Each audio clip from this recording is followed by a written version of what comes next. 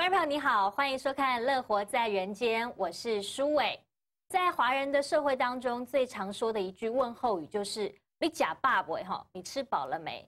那么自古就有开门七件事之说，就是柴米油盐酱醋茶。那么也代表着在我们的生活当中，稻米文化真的是占有非常重要的地位。不过现在这个养生概念越来越抬头哦。很多人都可以希望吃的健康又吃的养生，那么或许谷米料理是一个很好的选择哦。我们今天现场来到了两位专家，跟大家一块来分享怎么样吃的健康又养生。欢迎食品营养师杜清荣小姐。大家好，我是清荣。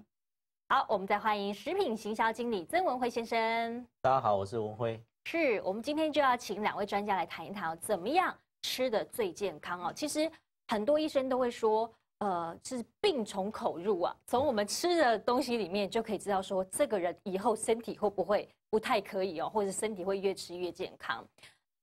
我们都知道，台湾稻米在一年之内大概要四到六个月才能够收成一次哦，所以我们都说农夫非常的辛苦。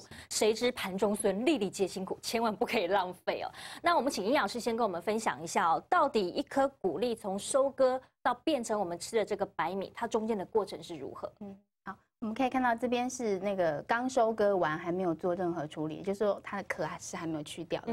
那这个我们可能是没有办法去咬它，因为我们不是太硬了。对，我们不是那个草食性的动物。是。好，那那个整个稻米在经过不同的加工过程，然后主要可以分成三类。那主要就是糙米，然后黑芽米跟白米的部分。嗯。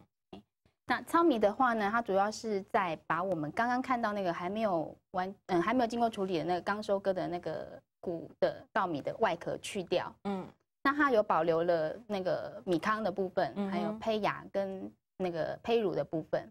那也就是说，你整颗米大部分的营养，它都是存在于那个。都是保留完整的营养素在里面。嗯嗯，那胚芽米的部分呢，它就是把那个米糠大部分的米糠去掉，嗯，那保留了胚芽跟胚乳的部分。嗯，那它的营养也可以算是非常的完整，是比糙米少一点点。嗯嗯嗯。那白米的话呢，就是把那个胚芽的部分也去掉。嗯，那就是呃，我们只看到就只剩下胚乳。嗯哼，那里面的话大概会嗯，它里面的话主要就是糖类跟蛋嗯糖类跟热量而已。嗯，好，所以一般我们喜欢吃的是白米，因为觉得白米比较精致哦。但是其实它营养价值可能就没有糙米或者胚芽米来的高。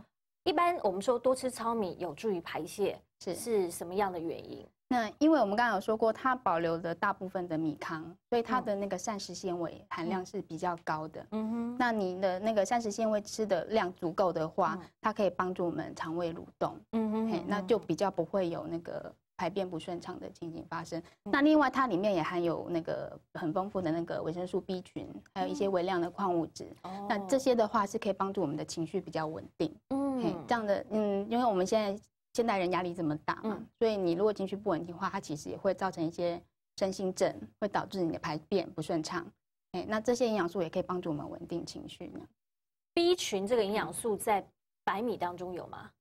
嗯，它可以说是非常的少，非常少。对对对。哦，那在这个中间的这个是什么米？中间这个胚芽米有吗？有啊，但是它因为它把米糠。呃，应该是说我们的植物啊，它的那个营养素主要都是会存在外皮的部分哦，所以外皮很重要。所以你越是精致的东西，它的营养素含量就越低哦。但一般我们在浸泡这个米的时候，如果是用呃糙米的话，浸泡时间要比较久，对，因为它比较硬，对。所以有的时候像我女儿吃这个糙米，她就觉得妈妈今天的米有点硬，他就会觉得说吃的不习惯。对哦，可是呃真的是越来越多在吃。比较原始的这个呃最原始的这样子的食物哈，因为里面蕴含了更多的营养分在里面哈。那这个胚芽米的部分呢，你说它有一些的 B 群，但是不不多嘛，哈，嗯，含量会比糙米少一点，比较少哦。呃，那在这个煮的过程当中，胚芽米的浸泡时间也是比白米再长一点嘛？对呀，对呀，嗯嗯嗯嗯，好，所以我们就知道说，呃，糙米。胚芽米到这个白米，它其实营养价值是有不同的。越精致的食物，其实嗯，你不觉得？哎，它虽然越好吃，可是呃，可能很多的营养都在呃不知不觉当中，其实已经流失掉了哈。好，那市面上还有很多添加营养的所谓的这个。强化米哦，那强化米又是怎么一回事？强化米，因为我们刚刚有提到说，白米它是因为它精制过的，对，所以它大部分的，比方说维生素 B 群啊，有一些微量矿物质，它都已经被去掉了。嗯哼。那可是我们又要好吃啊，所以我们就会在这个白米上面可能添加一些这个它所缺乏的这些营养素。哦。就是你吃的时候，你也可以顺便补充一下这些东西进去。哦。那但是因为它是人工添加的，它。比较不会是加天然的东西进去嘛，大部分都是担心合成的或人工的添加物，对对对对，反倒吃了并不一定对身体是一定有帮助，对啊，哈，而且它的价格也还蛮高的哦，对啊，另外添加东西一定一定会比较高一 点，它价格大概会贵多少？嗯，这个可能要请经理回答一下。经理，您这个做食品行销很久了，那你对米类、谷类也非常了解哦，所以我刚刚讲那个强化米，市面上的确会比较贵，对不对？大概贵两到三成左右啊，贵两到三成。那因为它就是添加成分也很低啦，嗯，它只是做一个诉求。嗯嗯嗯，OK，好。还有一种叫素食米，嗯好，素食米跟强化米也不太一样嘛，哈。素食米它是呃诉求是泡过热水就可以吃了，所以它算是一个已经熟的米吗？嗯，对啊，它算是一个食品加工的一个产物。那个我是觉得它比较算是有点类似像泡面那种泡水就可以吃。就方便。假设你去，比方说你去登山啊，或者是你在有灾难的时候，嗯，那个物资取得比较不容易嘛，所以你带着东西只要有热水，那有些它里面可能有一些，嗯，有那个加热的东西在里面，你只要一打开它跟水接触之后，它马上就可以把它的这个米饭热起来，那这样你马上就可以吃。OK，对，嗯，那它的营养价值呢？营养价值。就跟白米就差不多，比较类似。对对对，OK。但是它口感就会比白米，除了营养价值差不多之外，口感上也不会也不会太好。对，因为它是加热水就可以吃的，所以可想而知，它是用一种很快速的方法哈。然后可能是应急啦，或者在荒郊野外的时候必须要使用的。好，那另外一种在日本我有看过一种叫做掏洗米，掏洗米又是一种什么米？嗯嗯，它主要是像我们平常吃饭在洗米的时候，它主要是两种作用。对，那一个是就是把那个一些杂质，可能沙粒啊，或者是它那个去除米缸之后没有完全拿掉的那个东西，让它把它清掉。对，嘿。那掏洗米的话，就是帮你先把这些杂质先过滤掉了，嗯，所以你不用再经过洗的这个过程，因为洗的时候可能也会造成一些营养素流失，嗯，对，就直接放进去煮就可以了。嗯，是好，所以营养师跟我们介绍这么多的米哦，其实呃，我们是每天都要吃米饭，但是怎么样吃哦，怎么样选择哦，其实在我们家哦，我们是哎。本来是呃一天里呃一个礼拜里面有三天可能都吃白米啊，另外三到四天吃糙米混白米。嗯哼。那后来就是越混越混越混，我们现在越来越能够接受，例如说呃这个五谷米、十谷米啦哦，或者是糙米这样子的吃法。呃，一刚刚开始好像觉得说不太习惯，为什么我们这个饭要吃的这么粗呢？哦，后来发现哎。越粗的饭好像越有营养价值。好，那曾经理你自己在家里都吃什么样子的米啊？我一般是吃多谷米。多谷米，因为糙米来讲，它的那个壳是比较硬的。是。那多谷米它会加入一些其他的原、其他不同的谷类之后，它可以综合这种不不适应感。哦。所以让你的口感会比较好。是。那小孩子还有大家的接受会比较接受度很高，所以现在还有一种。多谷米哦，因为我刚刚讲的五谷啊、十谷啊，我们等一下跟大家分享，还有一种十八谷米，这个可厉害了哈。那你吃多谷米吃多久了？呃，我大概呃一年多左右。一年多左右。对对。OK，你吃多谷米跟你之前，你那你吃多谷米之前，之前是吃什么米？一般就是吃白米，那白米就是它只有热量，比较容易发胖。OK。所以说吃多个米之后，比较能够调调整整个自己的身体身体的。呃，状况这样子是，对，好，热量也不会这么多，对，好，好。那营养师多谷米对身体的健康的确是比较有帮助的嘛？对，嗯哼，为什么？嗯，因为我们其实不能吃单一的一种谷类，像白米的话，呃，像米类的话，它是呃会缺乏一种我们的嗯必要的氨基酸。哦，对，那假设说你只吃白米，嗯，又不吃其他的。嗯，比方说蔬菜啊、肉类什么的话，一定会造成营养的缺量，那个营养素的缺乏。嗯，对。那那那个多谷米的话，它因为含有各种的谷类，那每一种谷类它里面的营养素含量也不一样。嗯，哎，那比方说像米类它缺乏的那个赖氨酸，嗯，它在豆类里面就可以来补充它。哦，对，所以你搭配着各种食物去吃的话，它其实是可以帮助你吃进去各种你需要的营养素进去。哦，所以说呃多谷。米里面啊，包括了这个各种各样的谷类，对不对？各种各样的谷类跟豆类，所以让我们在吃饭的时候就可以吸收各种各样谷类的营养，呃，把不足的给它补回来哈。那营养师你自己也有吃谷类吗？我家里有在改善中，有在改善中。对对对，因为其实我们是白米吃这么久了，是啊，对，那口感都习惯了。嗯，对，那我们是有慢慢在尝试说，那我添加就是在白里面添加一些糙米啊、胚芽米进去。是，对，那目前的接受度有慢慢的比较好一点，比较高。对对，这就讲到一个问题，我这边有个数据哦，说台湾曾经调查过，每一百个人当中有四十七个人都使用过杂粮谷物来煮饭哦。不过有一半以上的使用者哦，都受不了这个好像比较硬的口感哦，所以很少人持之以恒哦。但是，嗯，的确，现代人很多的这个慢性病啦，都跟饮食习惯有关哦。那也有很多的数据告诉我们，其实多吃各种各样的谷类，把它当做是呃我们的正餐米饭来呃吃的话，其实对于健康是有很大的帮助。我们稍微休息一下，就来跟各位观众分享一下，到底这个。十谷米、五谷米，还有现在有一种十八谷米哦，到底是有什么成分在里面，又有什么营养价值呢？我们马上回来。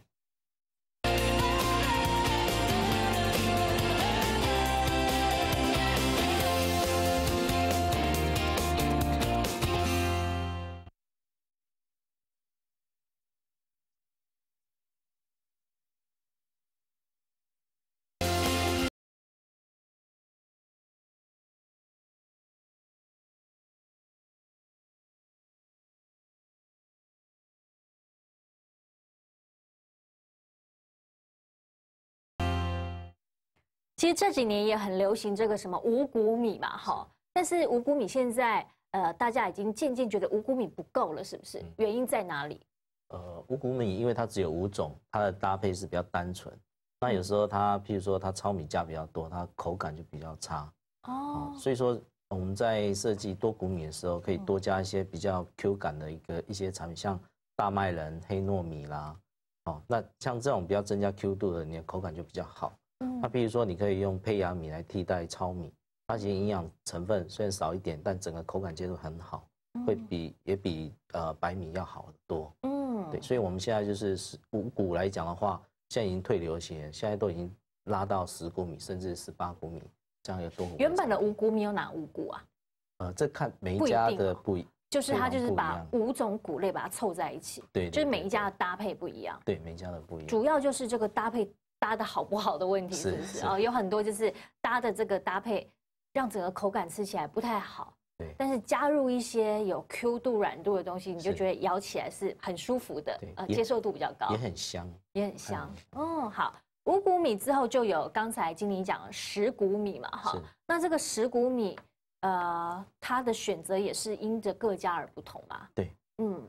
像市面上有三十几种谷类嘛，还有十几种豆类。那将这种豆谷类来混杂来讲的话，就看各家的配方不一样，嗯，那他想要诉求的营养值也会不一样。嗯，那呃呃豆类来讲的话，它有一些呃像刚刚提到一些赖氨酸的部分，嗯，所以说只要把这些豆类跟这个谷类合理的一个搭配来讲的话，嗯，整个营养值其实都会比之前的五谷米还有白米要来。来得好得多哦，那你长期在吃来讲的话，你不是只有只吃白米嘛？嗯，那你这样的你营养值也更均，嗯，更均衡，好，更平均。所以十谷米之后，现在啊科技非常的进步啊，现在重视养生真的是不得了，吃到了十八谷米哈。这个十八谷米里面到底有什么呢？啊。嗯，十八谷米来讲的话，现在现在它的一个诉求来讲，就是说，因为之前的十谷米它是需要浸泡，嗯，哦，那呃，像夏天要浸泡两个小时，冬天浸泡四个小时是比较不方便。那十八谷米它在设计的时候呢，它就让它，比如说绿豆，它用绿豆仁来替代，嗯，那这样来讲的话，它就可以免去这种浸泡的时间，哦，让让生活呃大家比较匆忙的人们，他可以尽快的一个料理出来。绿豆仁啊，对，哎，就是这个。哎呀，我真的是 还是有点尝试的，这个就是绿豆仁哦。所以呢绿豆用绿豆仁来取代。可以省去浸泡的时间。是，那另外就是说，之前还有一些浸泡需，就是壳比较硬的一些产品，我们也选择用其他的一个谷类来替代。嗯，那再就是说，这次十八谷米里面，它又添加一个胚呃胚芽米片。胚芽米片，胚芽米片它是比较呃，它里面的成分是呃会含有伽巴这个成分。伽巴，哦，伽巴这个成分它会让你的呃神经比较稳定。嗯，那这样来讲的话，他的呃，他会让压力比较大的人，或者是年长者，他比较不容易入睡的，嗯，让他稳定他的心情，那这样他比较入睡，这样他整个生活的品质会比较好。嗯，所以这个是发芽米片嘛？对，就是这个吗？米片就是伽巴成分在里面。是哦，让我们睡觉的品质也会比较好一点。对，OK。那我看到这个亚麻仁呢，亚麻仁主要的。这个成分是什么？哦，亚麻仁、亚麻籽。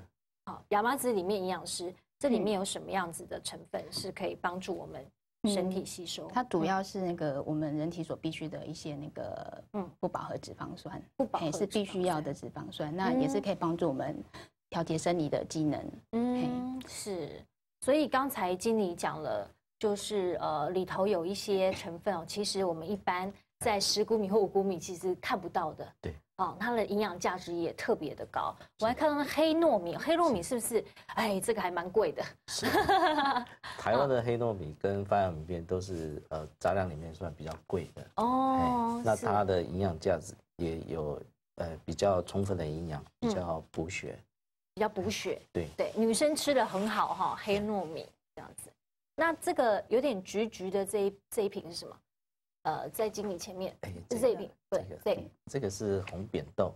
红扁豆是什么？红扁豆它的产量也是非常少，嗯，哦，那呃，它的那个价格也是比较高的，嗯嗯嗯。那营养价值部分的话，营养价值，请营养师要给我们补充，红扁豆有什么营养价值？嗯，红扁豆的话，它里面主要是含有维生素 B 群 B one 的部分，嗯，那也是可以帮助我们调节生理机能，让你比较有活力，比较有活力。所以 B 群很多人都讲说，这个呃没有体力的时候多吃 B 群，对，哦，但是在这里面就有这样子的成分。所以呃，我们从呃白米、十谷米跟十八谷米的营养素的比较图来看，我们请营养师给我们看一下，到底。呃，白米、十谷米跟十八谷米，它们营养价值真的差很多吗？嗯哼，那这张图呢，它主要就是在告诉我们说，这十八谷米、十谷米跟白米，它里面的营养素主要差距在哪里？那由这个图的中心往外是，嗯，越往外的话，表示它的营养的含量比较高。哦，那我们先看，嗯，绿色的部分是白米的部分。我们先看白米的部分啊，它除了那个热量。跟有一点点的粗蛋白之外，它其他的营养素几乎是没有的，嘿，通通都没有。嗯，那石谷米的部分的话，石谷米的部分的话呢，它呃在热量啊、粗蛋白、膳食纤维跟钙铁这些，嘿，它的含量跟那个呃十八谷米是十八谷米有比它多一点，对，嘿，那同时它还具备哦刚刚我们提到的伽巴这个成分，对，也就是说它可以稳定我们的情绪，是。哦，所以从这边这个图很明显的看出来，各位，我们最好在我们的米饭当中加一点这个谷类的成分，不然的话，白米虽然好吃，但是怎么感觉它的营养价值真的不太高？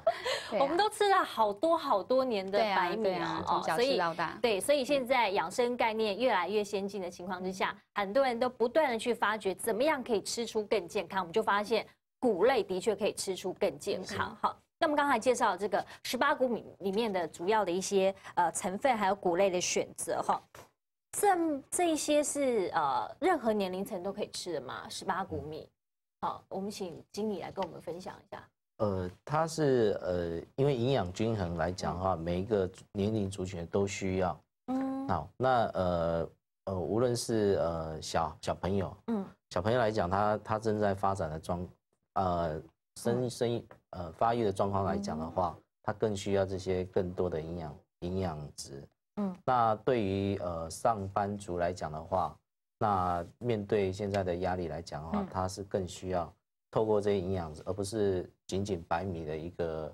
热量可以可以来满足它的。嗯，它透过这些营养值来讲，可以舒缓它各各种身体各种的状况。嗯，那对于年长者来讲的话，他因为也会有一些健康上的疑虑，嗯，所以说他更需要这些营养来补充他的一个呃身体的一个呃营养值这样。营养值对哦，所以呃各个年龄层几乎都可以吃嘛。对，呃，我觉得其实对女生来讲啊，我们都说要预防我们到时候有更年期的问题或更年期的障碍，其实豆类里面大豆异黄异黄酮的摄取还蛮重要的。那在这里面的选择，呃，豆类大概有几项？嗯哼，豆类也有也有好几项嘛，哈，是不是？像那个豌豆仁，它就是豆类的一种。豌豆仁嘛，哈，是。那其实我们都说，女生在呃这个整个不管是面对青春期啦，哦，或者是怀孕生孩子之后，另外一个就是更年期，对女生来讲都非常的重要哈。所以营养师对于很多女生来讲，吃这个谷类有没有很明显的帮助？在哪些部分？嗯，像女生，我觉得。女生比男生辛苦很多，对，现在尤其是现在职业妇女又要工作，要照顾家庭，她的压力是非常大的。嗯哼，那压力大的话，就很明显的第一个就是可能排便就不顺畅，对，哎，然后很容易那个那个暴躁、易怒那样。哎，那那我们如果可以多摄取这些那个。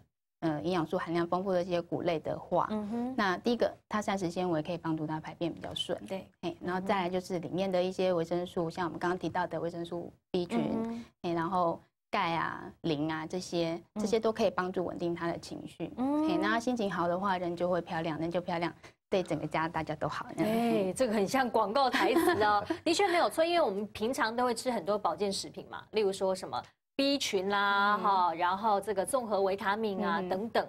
那其实如果呃吃了这么多的谷类，其实营养摄取也都在里面。对，搞不好就可以把这个保健品哦，这个取代了保健品的这个地位或它的效果。那其实我们平常在吃这些营养补充剂，它就是在补足你平常可能没有缺乏的部分。对比方说维生素 C，你可能每天吃不到这么多的。那个蔬菜或水果，它就必须要从这些来补充。但是大部分的营养补充剂，它还大多还是合成的东西啦，所以吃到我们身体里面，它还是要经过会有一些负担嘛？对，还是要经过分解这些过程。对，那还不如我们吃这些天然的食物会来得好。是，那经理，呃，你碰过很多的这个消费者嘛？哈，很多人这个可能尝试了呃各种各样的谷类或米类，大概接受度都还可以吗？呃，他就是要从呃慢慢去适应啊。我建议是这样子。嗯，那有一种呃，一般来讲的话，呃，有一种方法就是说，你先吃呃那个胚芽米，先吃胚芽米。哎，胚芽米跟白米从白米换到胚芽米。对，你可以一比一去比例去换，它的那个改变不大。嗯，那再就是说用胚芽米跟糙米去混。哦，哎，也是一比一这样慢慢让它逐渐适应，那到最后可能是糙米一半，然后白米一半这样去适应。那当然现在就是因为有多谷米这样的一个产品出现之后，现在的一个比较好的方法就是说，我们先如果说呃，譬如说四份的白米加一份的多谷米，嗯，其实来讲的话，它口感跟纯的白米其实差不了多少，它是多了一些多谷的一些香味。它的接受是非常高的，嗯，那你再逐步去减少白米的一个比例，从白米从三份，然后到两份，到一比一跟多谷米的一比一的比例，那是最好吃的一个状况，也是最营养的。哦，你再讲一遍，白米跟多谷米的比例是一比一。呃，就是最到最后到最后是一比一，所以你会觉得那个口感是最棒的，是最棒的。OK，那我可以全部都是煮这个全五谷米或者是十八谷米这样是可以的吗？因为因为白米它只有热量，可是你在其他的菜类里面或其他，你都可以摄取到足够的热量。因为很多产品它也多一些淀粉，都有一些热量可以产生，所以不用一定需要白米这个热量。嗯，那你你从你日常生活中一天三餐就改变了你你这个白米的摄取，换成多谷米的一个这个营养值来讲的话，你整个身体各方面都会更好。嗯，好，刚才这个曾经理分享的这样子渐进式的，就像。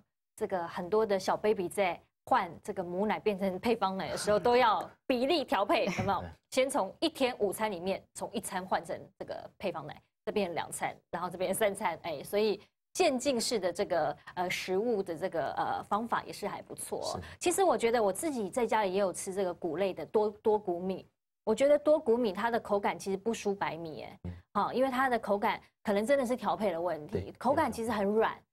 呃，你跟白米混在一起，其实你也觉得说，嗯，好像看起来颜色很丰富，就觉得哎，营养价值很高。然后吃下去，嘴巴觉得哎，它的软度、Q 度都很好哦，其实接受度还蛮高的。我女儿她其实不太能够接受糙米，可她接受五谷米的这个程度还蛮高的，尤其她觉得。嗯，五颜六色很漂亮，他就觉得说他要挑这个挑这个。哎，有些这个谷米很厉害，他会做形状，哎，他还把它切成什么有点小花的形状啦，哦，或者是这个爱心的形状，所以小孩子的接受度其实还蛮高的。真的吃酒对身体的健康是蛮有帮助的哈。好，我们稍微休息一下，等一下回来要告诉观众朋友，怎么样从这个十八谷里十八谷米里面，我们要做出几道很好吃又简单方便的料理哦。马上回来。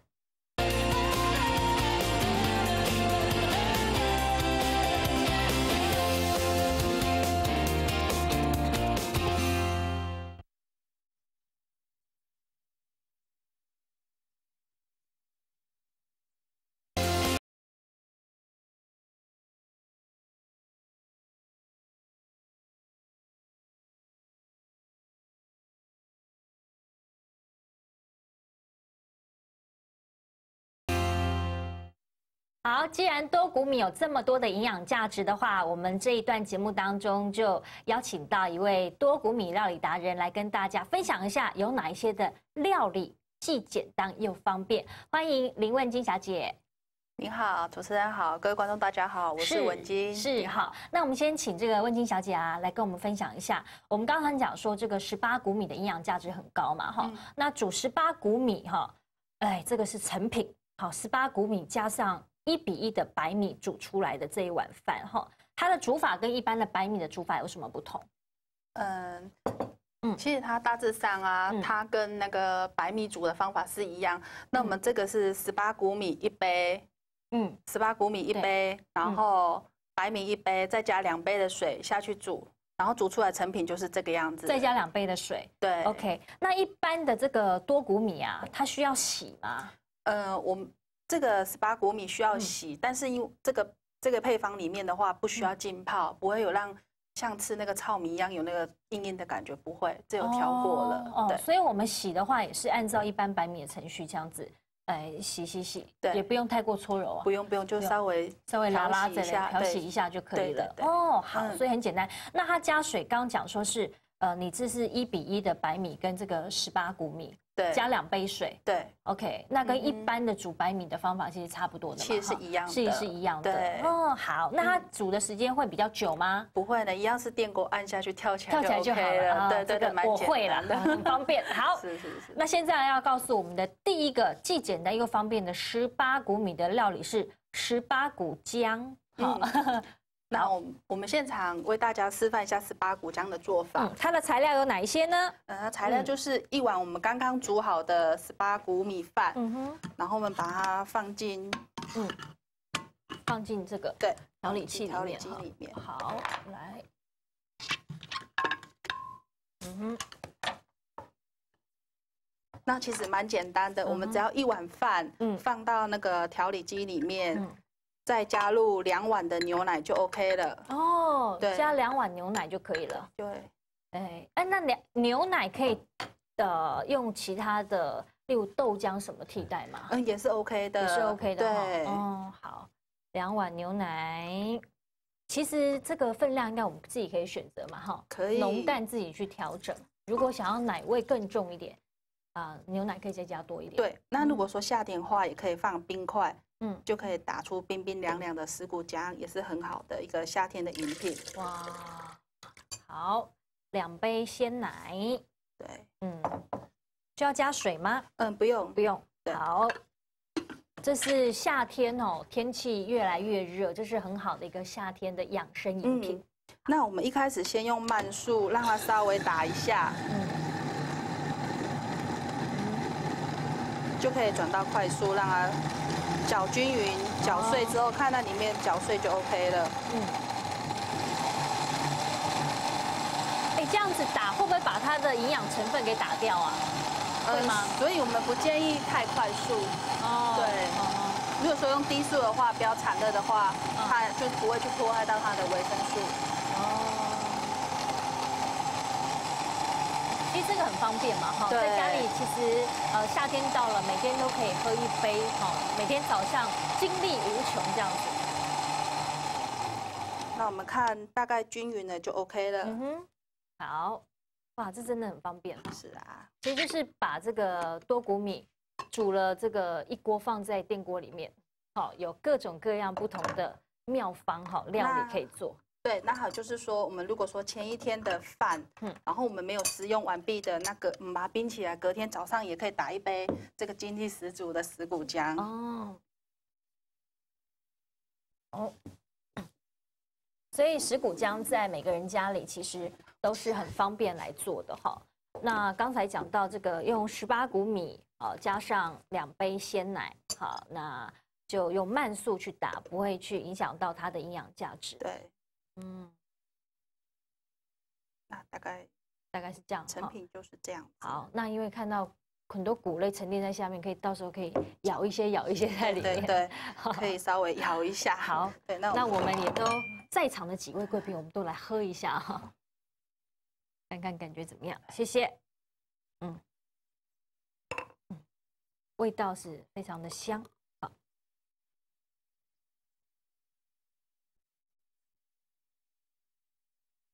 嗯，嗯，它其实也可以再打的再更更绵密一点，对对对，就是是个人的口感。是，那有些人可能喜欢喝到这一种谷类在里面的存在感，那你可能就可以打少一点，对，然后让它的存在感更多一点。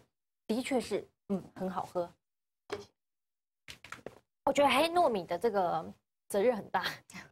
我觉得黑糯米，因为它很 Q，嗯，刚刚也是咬到几口黑糯米，就觉得嗯 Q Q 的啊，感觉还咬起来的口感特别好，咬感。对，它会有一些自然，你咀嚼越久，你自然的那种香气都会出来。嗯，那这样咀嚼好，这样的一个产品来讲，对于呃银发族，嗯，比较长辈来讲的话，可以促进他牙齿的一个咀嚼。对于很多的这个比较年长的长辈，对，因为他很多时候不太能够咬太硬的东西，对。啊，那用黑糯米来帮助他咀嚼，啊，也有营养价值在里面，啊，是一个很好的选择。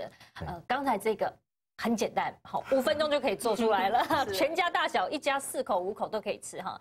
那再来这一道了，稍微复杂一点点，可是我想也不会花你太多时间了。我们要做十八股的寿司，对，我们示范一下寿司的做法。那一样就是刚刚我们煮好的饭，嗯，对，十八股饭，嗯，那我们这是寿食器，好，我也要做嘛，哈，对，一起来，好，哎，没有寿，因为一般我们家没有这个寿司器的话，就直接用那个海苔。也是可以的，对。那这寿司器它很方便，这是业者他开发的模具，所以很很好操作。哦，OK。比寿就是比卷寿司还要来的方便。OK。那说家里没有海苔的话，也是可以直接使用。嗯嗯嗯嗯。好。那我们要怎么做呢？呃，我们就是把饭天平，然后压紧实，压在寿司器里面就 OK 了。哦。对，其实 蛮这么简单呐。对，这寿司器 蛮好用的。嗯。好，我们说工欲善其事，必先利其器。对，这个寿司器，但是如果没有寿司器的话，其实也无所谓。哦，我们就煮这个呃十八谷米，煮好了之后呢，我们就自己在家里就动手来卷，啊，也是很方便。那我们很简单，只要把它压紧实就可以了，压紧就可以了。对，嗯，好，把它铺平，压紧实。嗯。所以营养师，你建议我们多多利用这种多谷米来做各种的料理吧？对呀，嗯哼，那就是可以帮助你补充一些各种营养素。那像那个平常家里如果不方便的话，就是你可能不会特别为了去做呃做寿司去买这个东西。那像我们家小朋友，他就很喜欢。那个一般是做那种小片的那个海苔啊，就直接夹，也很喜欢，对，这样对小朋友也是蛮好的，而且小朋友也会觉得自己动手做很有乐趣，他就是很享受那个过程。对，嗯，好，来这再给你，你需要吗？没有没有，哦，还要再满一点是？对，满一点，跟这个容器铺平就可以了。哦，好。曾经理，你自己吃了这个呃多谷米多谷这么久哈，一年多啊，你家里家里会用多谷来做一些料理吗？哎，对，就是说它其实很方便，也是一个呃，等于营养补充剂来讲，对小孩各方面都是比较好的。嗯嗯嗯嗯。它这个也可以添加一些，比如说肉松啊，或其他的，在那个饭的中间。那这样来讲的话，它做成寿司的时候更。更好吃，小朋友更喜欢。好，我们铺平之后啊，再把这一个压上去，再把另外一个膜给压上去。对，好，压紧，压紧。哦，希望我不要失败。压紧就 要压很紧，一定会成功的。哦，好。里面有薏仁哦，孕妇可以吃这个十八谷吗？哦。这个十八股当初就是因为孕妇的关系啊，所以我们把艺人也排除掉。哦，所以十八股里面是没有艺人的。对对对对对，已经把它排除掉。了压紧之后就可以脱模了。OK，好。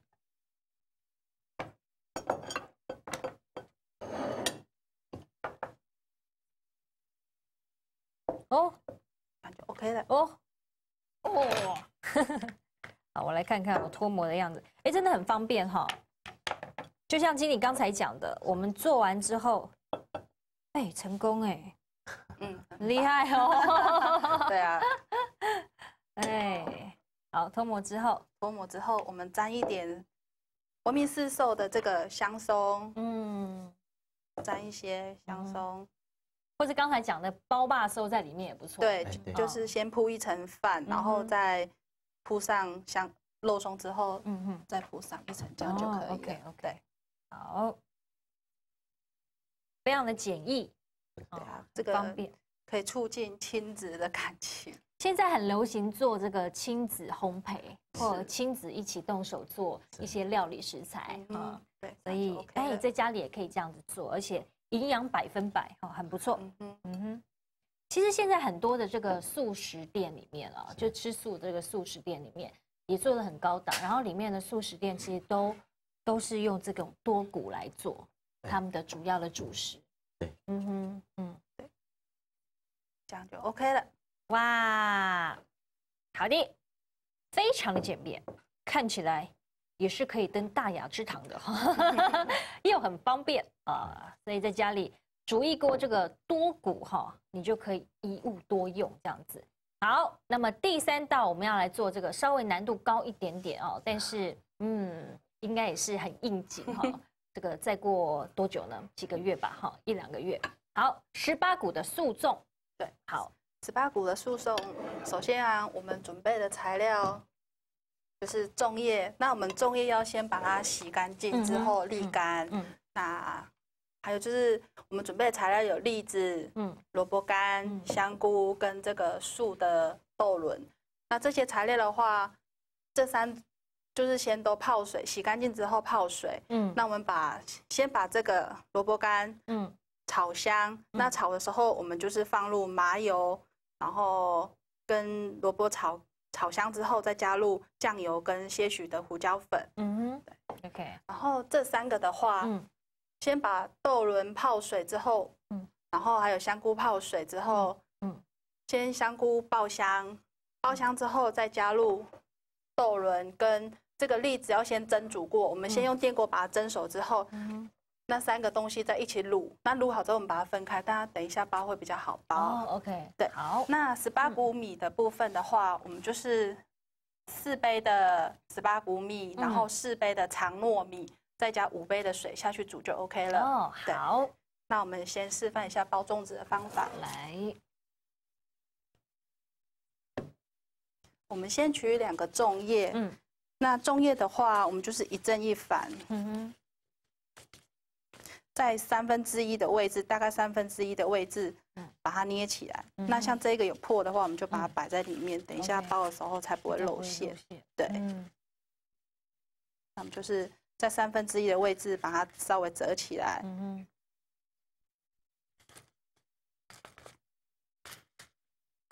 那底部呢，我们先放一些煮好的十八谷米饭。嗯嗯。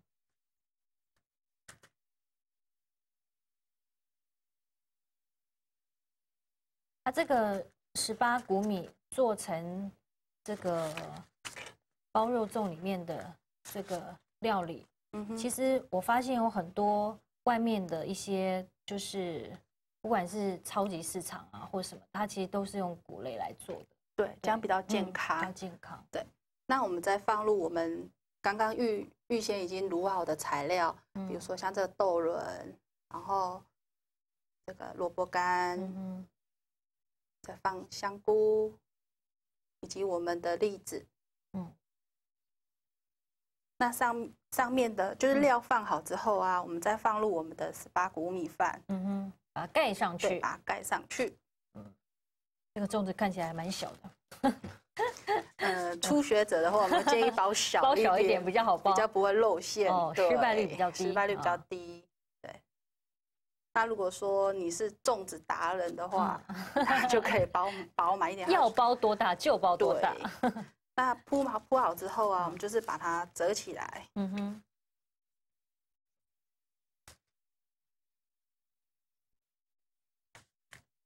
把那个形捏出来，这样就 OK 了。哦。哎，那我们在蒸这个这个十八股的粽子的时候。它蒸的时间也不需要特别久嘛，就跟一般我们蒸粽子的时间是一样的，对不对？其实这些材料啊都已经是熟的了，所以我们在蒸的话，只要蒸十五至二十分钟，嗯，对，然后我们再拿粽绳把它绑起来就 OK 了。好，非常简易方便。对，对于这个用十八谷哦。来做甜食的话，很多的小朋友喜欢吃甜食嘛，或是点心。嗯呃，除了刚才我们讲那个十八谷浆之外，还有没有什么其他的选择？嗯，其实我们也可以用十八谷米啊，我们可以煮成甜粥。哦，甜粥，煮成甜粥也是很好的。就是比如说，我们加一些，嗯，那个桂圆啦，也是不错的选择。就是把它煮成甜粥，然后把冰冰凉凉的这样子，在夏天也是一个不错的选择。嗯嗯嗯。这个绳子有点缠住，因为没有勾起来，对，不好包。嗯，好，大概是这个样子。嗯，非常的简易而方便哈。我们这样一下下，十分钟我们就做了三个料理哈。我们做十八股姜、十八股寿司，还有十八股的素粽哦。这个素粽吃了，嗯，真的是对身体是健康百分百哦。我们稍微休息一下，等一下再回来，有更多讯息要介绍给您。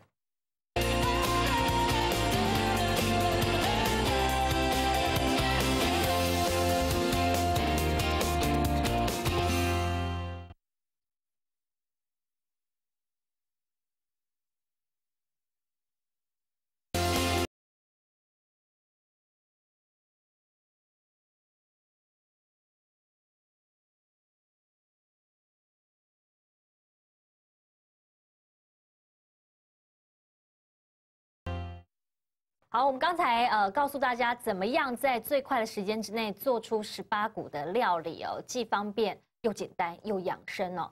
对于很多的上班族来说，每天上班都匆匆忙忙的，怎么样哦也可以让十八股伴他们左右哦，在上班的时候也可以用到，或者是一下班回来就马上就可以享用到十八股，有什么好方法吗？是，这个就是说你可以在前一天前一天晚上的时候啊，你可能晚餐就吃了十八股饭。那可能多出的石瓜骨饭，你就可以冰冻，呃，冷冻起来，用小包装冷藏起来。那呃，在呃隔天早上，因为时间比较充足，所以你可以你可以用这个直接打成浆，啊，打成一个精力浆来喝。那如果说煮也有时间来讲的话，你还可以呃加个蛋拌炒一下，也可以做成一个炒饭。哦，是。那呃，如果说是老人家他想要吃的话，你可以也可以快速的把它煮成粥，因为它已经熟了嘛。你只要加多一点水，把它煮成粥就可以吃了。嗯，好，这是个好方法。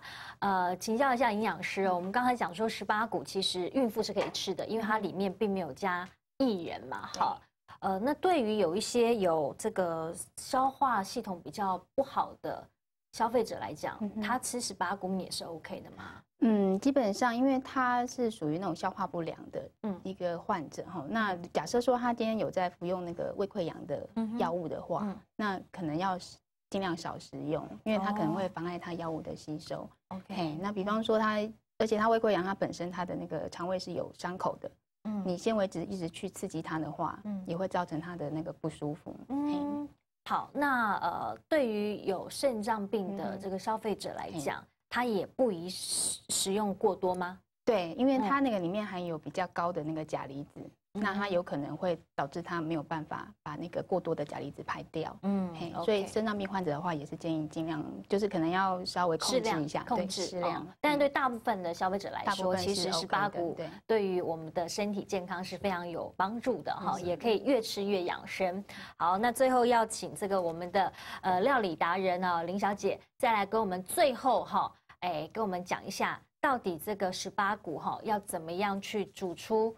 这么一锅好吃的十八谷，嗯嗯嗯，呃，一开始食用的话，我们建议就是十八谷米加白米一比一的比例，这样去煮的话，它的适口性口感会比较好。那就是说，十八谷的话，我们就是加白米之后把它清洗好，那就是快速的清洗。那清洗好之后，就是。加入水的话，就是跟我们煮饭一样，用一比一的水，其实就 OK 了。嗯，那我们为了要增加它煮起来的色泽，会让它更亮丽的话，我们可以在煮饭的时候加几滴的油。哦，对，加几滴的油可以增加它的色泽的亮度。嗯，那煮好之后呢，我们先松弛，把饭松弛好之后，盖着再让它焖，再焖一下。对，这样子会更好吃，更 Q。OK，那焖好之后就 OK 了，就可以享用我们的十八谷米饭了。嗯，很简单哈，其实它要。浸泡它不需要浸泡嘛，但是它呃水量是不是要比煮白米的时候稍微再多一点点？嗯，如果说看个人适口性，如果说你喜欢软一点的，我们会建议再加到一点二倍。哦，对，那有的人喜欢它硬的口，就是那个咀嚼感的话，就会是一比一就 OK 了。一比一就 OK 了，所以一点也不复杂哦，不像我们在洗白米的时候，有时候要浸泡，或洗糙米的时候要浸泡哦。这个呃十八谷是不用浸泡的哈。好，那么今天跟各位观众朋友分享了。怎么样吃出养生又健康哦？就从你每天吃的饮食当中，可以慢慢的改变哦，慢慢的着手。今天跟各位呃分享了十八谷的这个料理哦，也希望观众朋友可以试试看哦，可以让你越吃越健康。尽量哦少吃太精致的东西，我觉得哦现在都还原到最原始的哦，从比较呃多谷的，然后比较原始的东西去尝试的话，搞不好你可以吃到更多的营养素哦哈！祝大家都健康平安哦！谢谢三位来宾来到现场，我们下次再见喽，拜拜。